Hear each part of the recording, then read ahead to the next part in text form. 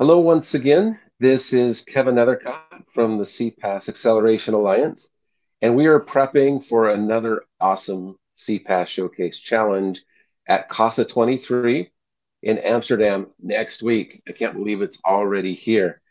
Um, we have one of our contestants here on uh, this session with me, um, Oli Lifely from Luware. Welcome. Thanks very much, Kevin. Yeah, we're excited to be involved in this. Yeah, it's going to be a good time. It's also going to be very educational, and um, it'll be part of you know the broader CASA 23 event that we have kicking off next Monday. So we're super excited to have you here.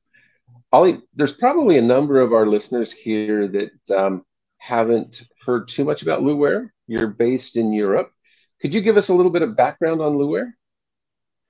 Yeah, absolutely. So um, we're headquartered in Zurich in, in Switzerland, um, but we have a number of offices around Europe and um, our customer base is, is global.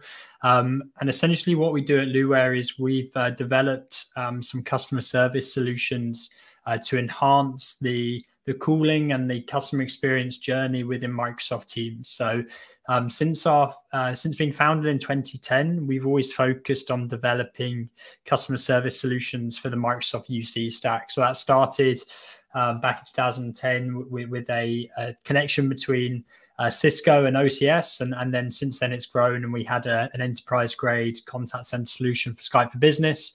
So that's obviously naturally transitioned to, to, Microsoft Teams. So some of those solutions are kind of your traditional contact center um, and CCaaS type um, functionality.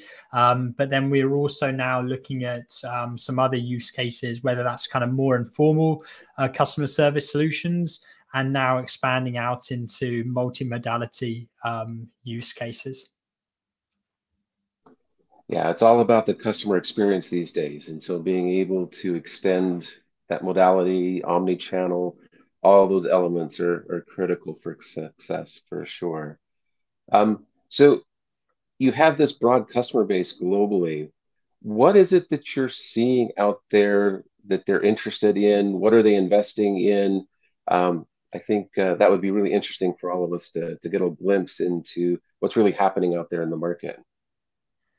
Yeah, absolutely. I think in the last kind of um, even pre-pandemic, we've gone through a few different technology life cycles quite quickly. So um, I'd say pre-pandemic, a lot of organizations were looking to move to uh, cloud um, UCaaS and CCaaS solutions uh, from their on-prem solutions. Um, so, so a lot of customers are coming from kind of your more traditional CCaaS or, or UCaaS uh, type um, solutions. And then when the pandemic hit, I think all organizations uh, saw the value of consolidating those into a single app. And, and there was one really clear winner there in the pandemic from a UCaaS perspective, which was obviously um, Microsoft Teams. So what we're finding is that, that customers are coming to us.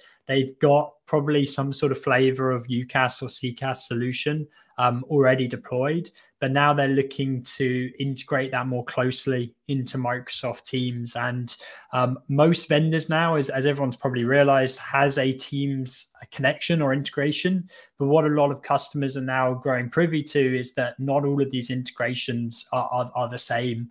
And there's a big difference between connecting an existing platform to Teams and actually building your platform inside Teams using the native Teams APIs. And, and, we fall in that kind of second camp there. So a lot of our customer base has come to us because they've recognized that they need a more native um, Teams platform that uses some of the native tool Microsoft tools, not just in Teams, but in the wider Microsoft ecosystem. So um, we'll, we'll, go on to show some of this next week, but um, our philosophy is very much to leverage and harness what Microsoft has already built. So using things like the Power Platform, so Power Automate, Power BI, using some of their tools like Azure Communication Services. All of these um, tools that Microsoft have built um, but what we're looking to do is actually bring that into a SaaS offering. It's very well and good having the ability to build an ACS, an Azure Communication Services bot, or um, build something bespoke in Power Automate. But that takes a lot of resource, it takes a lot of development. And what customers are looking for is an off the shelf um, supportable offering in a simple SaaS model, and that's what we're trying to provide.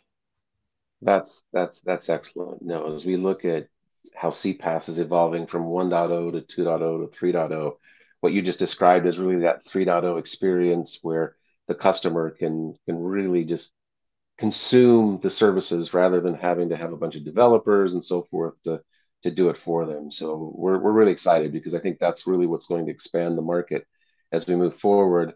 Um, a programming note, um, I think um, your CEO is is actually talking on that topic at CASA 23 next week as well. So not only are you in the showcase, but uh, Philippe is going to uh, be able to share um, some of those experiences and, and, learnings and working with teams and Microsoft. And um, so that was a great description of, of what you do. And he'll even have more time um, sharing that next week in, in person. So we are up against the clock next week with uh, our uh, CPaaS Showcase Challenge. For those of you that might be new to this, um, essentially what we're doing is an American Idol style um, contest where we'll have um, three to four different um, contestants here, with Luware being one of those. We'll have four esteemed judges that will interact with those that uh, are presenting, and ultimately um, a winner will be chosen. So, Oli, tell us a little bit. Don't give away too much, but uh, share with us a little bit with what uh, what you're planning to uh, to wow us with next week, and why you think um, you might have the goods to to bring the the winning prize home. Yeah, thanks. I'm I'm really looking forward to that. I'm hoping I don't get booed off the stage or the buzzers don't go within a minute of, of my talk. Um, but we're, we're looking to present um, a new offering that, that we have um, from, from Luware. It's, it's called Luware Interact.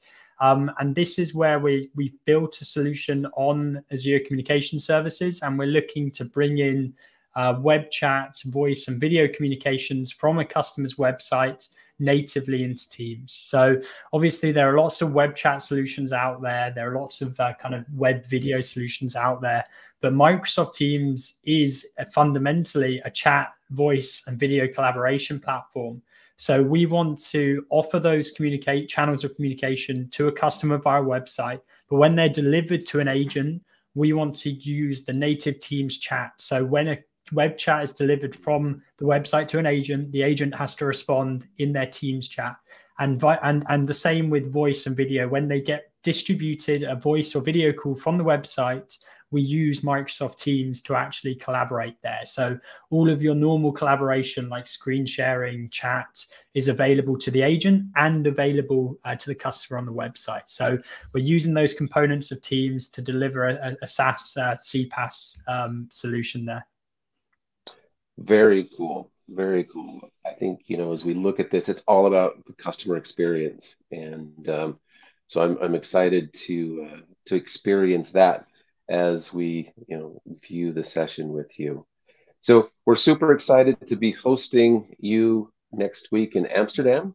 Um, anything specific you're looking forward to is as you visit? Uh, I believe you're based in the UK, so as you as you cross the channel there, um, what are what are you hoping to be able to maybe do in Amsterdam while you're there? I heard there was uh, potentially a boat trip on one of the evenings, so um, yeah, very much looking forward to that. I think there's also some interesting um, talks being being put on uh, around AI. So yeah, I'm keen to, to, kind of expand my knowledge there. But yeah, it should be a great event.